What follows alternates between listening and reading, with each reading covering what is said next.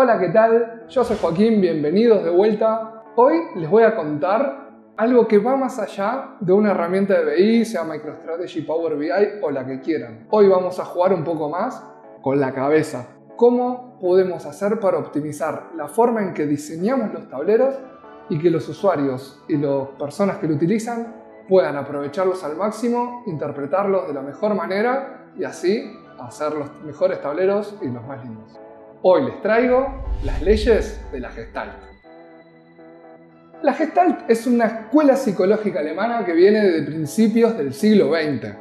Es un conjunto de principios que estudia cómo el cerebro y el ojo reaccionan e interpretan las distintas figuras y formas que vas teniendo. No es lo mismo si se ve distintos objetos de un mismo color, de de una misma forma, o cómo están distribuidos. Va cambiando. Entonces, hoy vamos a revisar las leyes de la Gestalt. Las leyes de la Gestalt se basan en cuatro principios. Uno, la emergencia. Las personas y el cerebro suele identificar los objetos y las formas que ve como un todo. Podemos tener un objeto, como el que ven en pantalla, donde si bien no está definido al máximo, no están unidos por todas las líneas y todos los bordes, podemos detectar fácilmente de qué objeto se trata. Número 2. La reificación. Las personas pueden reconocer objetos incluso cuando faltan partes de ellos. Nuestro cerebro hace coincidir lo que vemos con patrones familiares almacenados en nuestra memoria y llenar los huecos. Por esto que los logos sencillos funcionan tan bien. Número 3. 3.